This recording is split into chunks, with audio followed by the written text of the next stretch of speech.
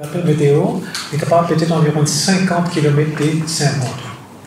Et là, d'une façon, il points direct de Saint-Monde. Maintenant, nous pensons à Saint-Monde, aux associations qui ont été là-bas. Là, il y a environ 12 personnes qui à Saint-Monde.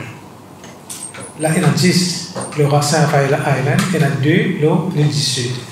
Et là, on discute avec la National Coast Guard et Saint-Raphaël Company tout le précaution avec National Coast Guard et météo aussi, tout ce toute précaution prend pour sécurité ce là Comment on connaît, c'est que le Pierre Maurice. Et il y a une forte possibilité qu'à demain, demain matin, là nous, nous, en classe 1 à Maurice, jusqu'à demain matin, quand même classe 2.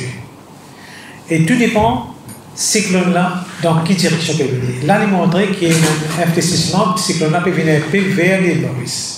Si les vient dans cette trajectoire-là, il peut passer environ 170 km nord-est de Maurice. Mais si il fait un investissement en cours, il devient plus près à Maurice.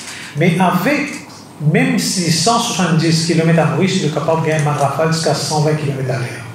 S'il vient plus près avec nous, naturellement, il est capable de gagner un plus grand rafale encore.